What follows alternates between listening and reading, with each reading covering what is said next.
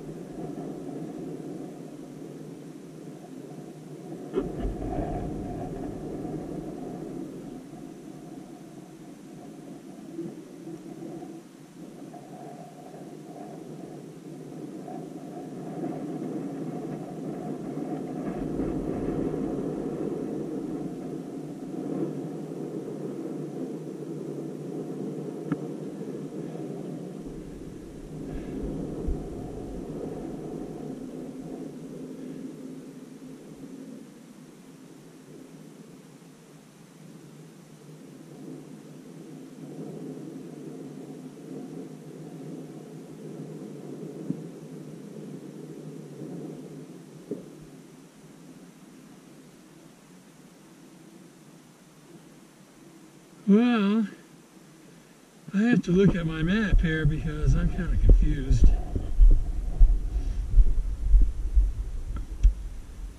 There's the Colorado River, but those vehicles over there are on dirt. You can see the dust coming up.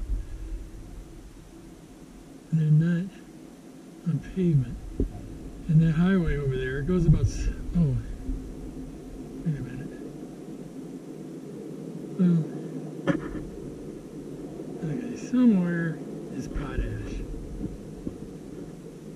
Where is it? Where is potash? I don't know.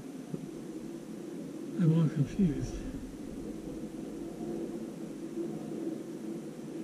Well, uh, it's a paved road from 191 where you turn off and go down, uh, I forget what, what it's called, the highway.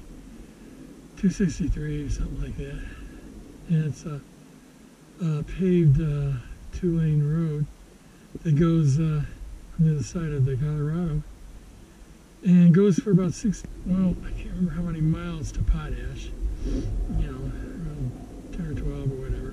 And then the pa- pavement ends at that point, and it's a dirt road. And then uh, it goes uh, until uh, it gets to uh, take in, take out for rafts and stuff on the river.